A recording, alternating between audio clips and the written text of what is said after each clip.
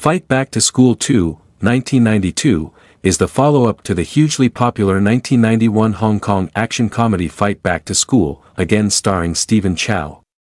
Directed by Gordon Chan, the sequel retains much of the original cast and its blend of slapstick humor and action. However, while Fight Back to School 2 remains entertaining, it doesn't quite capture the plot summary, the story picks up after the events of the first film, with Chow Sing Sing, Stephen Chow, returning as a police officer. His superiors assign him to another undercover mission, this time in a prestigious, upper-class school to investigate a potential terrorist threat.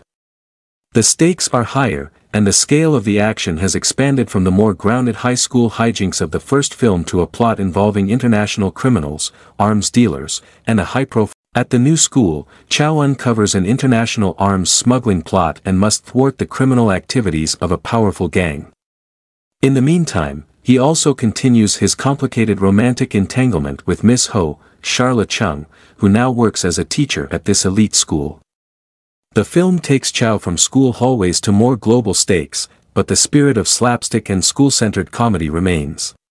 Humor and comedy, while Fight Back to School 2 does offer the same brand of nonsensical, over-the-top comedy that Stephen Chow is famous for, it doesn't feel as fresh or spontaneous as it did in the first film. Many of the jokes, particularly those about Chow trying to pass himself off as a student once again, feel somewhat recycled. That said, there are still plenty of laugh-out-loud moments. Stephen Chow's exaggerated expressions, quick-witted humor, and ability to make the most mundane situations hilarious keep the film afloat. His interactions with Ng Man Tat remain a highlight, with their dynamic offering a perfect blend of mentor-protege antics. Ng Man Tat, posing as a janitor, provide action and stakes, compared to the first film, Fight Back to School 2 amps up the action. The plot involving arms smugglers and international criminals gives the film a more action-heavy slant, with several high-energy shootouts, stunts, and fight scenes. However, the increased focus on action sometimes takes away from the humor. While Fight Back to School balanced comedy and action perfectly, this sequel Chow Sing Sing remains a skilled police officer, but the serious stakes of dealing with arms smugglers feel somewhat out of place in what is primarily a comedy. The shift from a more grounded school environment in the first film to global crime syndicates in the second makes the film feel less cohesive. Although the final action sequences are well executed, they lack the playful tone of the first movie's action set pieces. Characters and performances, Stephen Chow is still the heart of the film, and his performance in Fight Back to School 2 remains strong. He continues to portray the stubborn and reckless Chow Sing Sing with comedic flair, but the character doesn't develop much from the first film. The same cocky attitude and schoolboy antics that worked brilliantly in the original don't feel as impactful in the sequel. Chow's chemistry with Sharla Cheung as Miss Ho is still charming. Ng Mantat's role as Chow's mentor-turned-janitor is another highlight. His bumbling, well-meaning character brings warmth and humor to the film, often acting as a comedic foil to Chow. However, the supporting characters in this sequel are less memorable. The elite school setting introduces a new cast of students and villains, but none of them Sharla Cheung's Miss Ho, who was a significant part of the first movie, feels underused in this sequel.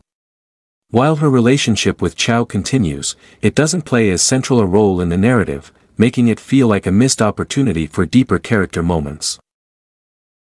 Themes and satire, Fight Back to School 2 continues the satire of the education system, but this time in the context of elite international schools.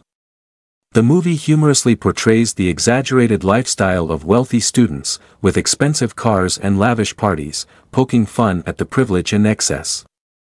While the satire is amusing, it's not as sharp or focused as it was in the first film, where the humor was more grounded in relatable school experiences. Comparison to the first film, one of the biggest challenges facing Fight Back to School 2 is that it inevitably gets compared to its highly successful predecessor. The first film's originality, humor, and charm set a high standard, and while the sequel tries to replicate the formula, it falls short in terms of freshness. The jokes don't land as consistently, and the plot, while more action-packed, feels less cohesive and engaging. Conclusion, Fight Back to School 2 is an enjoyable and entertaining sequel, but it lacks the originality and tight comedic pacing of the first film. While Stephen Chow's performance and the action scenes make it a fun watch, it doesn't quite capture the same magic as the original. Fans of the first film will still find plenty to enjoy, but the sequel ultimately feels like a step down in terms of creativity and humor.